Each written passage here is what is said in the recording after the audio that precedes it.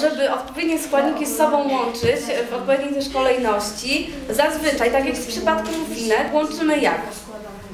Suche z mokrymi i mokre z mokrymi. Tak jest e, podstawowa zasada. Co my dzisiaj mamy czekoladowego, co jest suche? Kakao.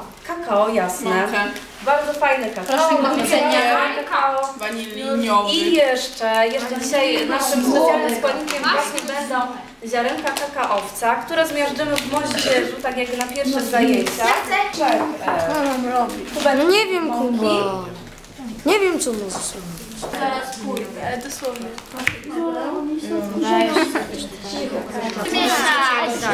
to będę trzeba będzie paluszkiem.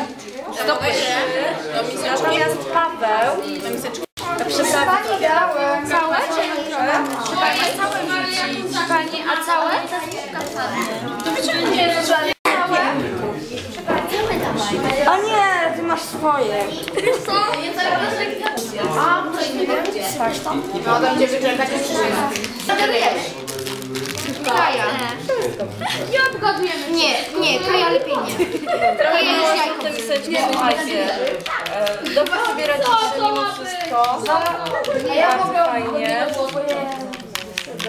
Będzie czasu, to ja tam mogę. Jeszcze troszkę trzeba? Tak. Robię dziecko, to zanim to znowu wsadzić do tego. Mamy tutaj ciekawostki, takie jak na przykład okrągła czekolada z Austrii, z mango i z orzechami brazylijskimi.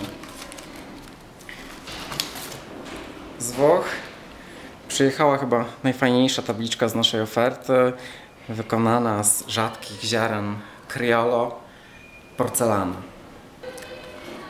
Jagody inkaskie z polskiej firmy Cocoa.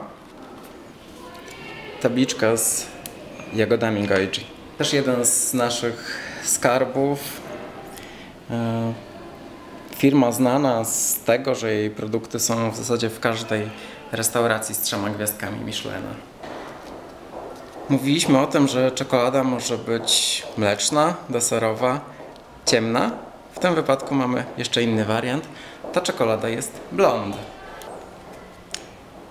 Jeszcze gorzka, owocowa intensywna 64% czekolada od Valero.